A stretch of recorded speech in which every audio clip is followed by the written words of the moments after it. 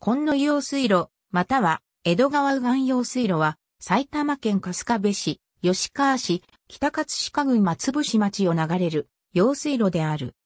吉川市大技上、内川水系図江戸川と中川に挟まれた、春日部市南東部、松伏町東部、吉川市北部地域の灌漑を目的に整備された用水路であり、金杉大地の声援を沿うように流れている。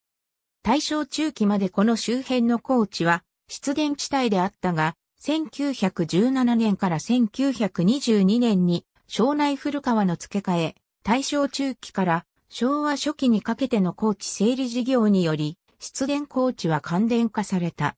しかし、水源である江戸川の川床低下、取り入れ非間一の不良等により、年々水不足が生じ、戦後までこのような状態が起こっていた。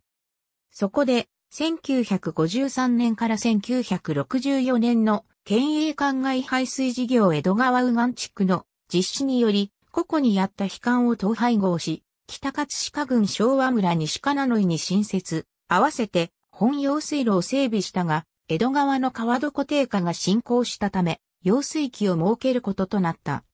その後、1992年から2003年の都年、中央農業用水再編事業の実施により施設を全面改築し、現在に至る。本用水路は火災用水路土地改良区によって管理されている。江戸川右岸と並行に南下する。